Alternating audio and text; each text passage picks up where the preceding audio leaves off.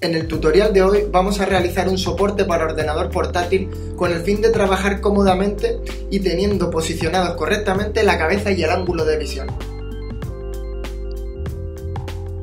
Tan solo necesitamos una caja que tenga un cartón medianamente rígido de donde sacaremos las partes de nuestro soporte portátil. Lo primero que tenemos que hacer es desmontarla por completo.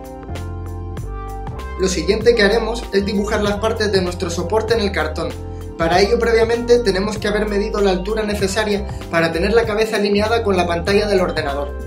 Pero antes de tomar esta medida debemos tener el escritorio y la silla colocados a las alturas óptimas, que son entre 75 y 80 centímetros para el escritorio y entre 45 y 50 centímetros para la silla.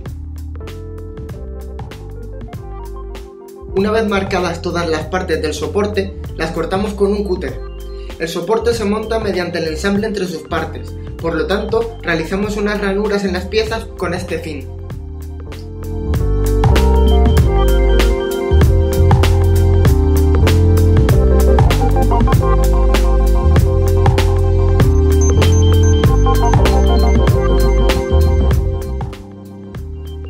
Una vez cortadas, separamos las partes y las colocamos sobre una superficie.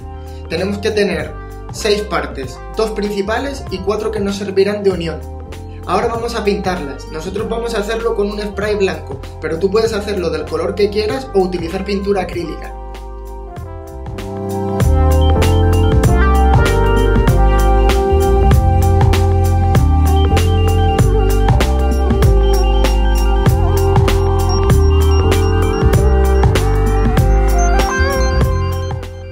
Una vez seca la pintura, montamos las partes de nuestro soporte portátil haciendo coincidir cada ranura con la ranura correspondiente de la siguiente pieza.